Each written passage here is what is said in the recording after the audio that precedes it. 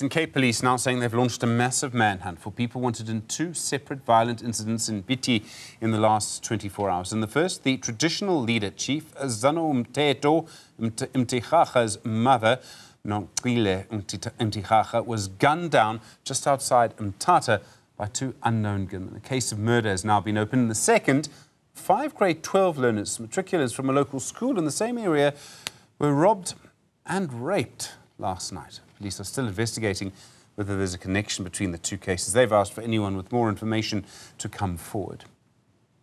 Newzroom Afrika's Ntsiki Nohiya following the story for you. Ntsiki, good morning. These are two terrible stories. What's the latest? Well, um, Stephen, what we are hearing on the ground when we arrived here at Mtirara Homestead is that last night at around about half past 11, two men um, wearing balaclavas stormed this particular door, the sliding door of this house. This is where Chief Nogcinile Mtirara was asleep. And when they arrived, we are told that they were looking for his son. His son uh, apparently was involved in the case of two suspects that were attacking, killing people in the community. So he was involved in in that um, uh, you know in that uh, uh, crime fighting here in the community. As somebody who is from the um, you know this particular homestead be- belonging to Chief Jongintaba whose son grew up with uh, the late uh, Nelson Mandela. But I'm joined uh, Stephen by uh, Reverend Sizwe Nyembenya who is a religious leader here at Mqhekezweni administrative area. Reverend you were here very early in the morning. You heard what happened. What happened? Yes, what actually happened? They say two men came in wearing balaclavas and they met some students who are staying here at the homestead who are studying in their lunch. And then they asked for Pico and Pico. They say they he's around, but they don't know the room where he sleeps.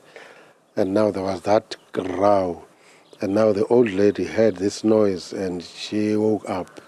When she woke up and got into the passage, I don't know how did he encounter these two men, but they shot him dead at the spot. Mm. We understand uh, that there are also learners, girls, who are currently writing a matric final exams, but they're not staying here. Tell us about that. Yes, from here, the same night, uh, some girls staying at a nearby location were raped last night, and we suspect that it is the same people who did this because it was later than this, and it was two men who raped these girls at their homestead. Tell us about these two men. I understand that they attacked some of the homesteads, some of the families, two families. One was torched and two couple was uh, murdered. And the community attacked these two um, suspects and one of them succumbed to injuries and the other one um, is still probably in hospital or out of hospital. But this was some sort of revenge. Is that what I'm thinking? Yes, perhaps it might be although it's just a speculation. Mm. Mm. Thank you so much, Reverend Sizwe Nyembenya, the religious leader here in the community, as well as the chairperson of Jongintaba High School. This is where six learners are currently doing their grade 12. And we understand, Stephen, that they are currently writing their exams at a uh, police station undisclosed, you know, a name of the police station for their safety. And uh, we understand again that uh, the the two suspects that were attacked by mob justice here for committing crime in the community um, prior to this attack in this particular homestead, one of them, the one that survived, because we understand the other one was poisoned um, allegedly by mob justice, was also out on parole. Uh, same applies with the one at the Bityi Magistrate magistrate courts accused number one. He was also out on parole, and that was evident when we left Bityi. He came to court escorted by vehicles from correctional center.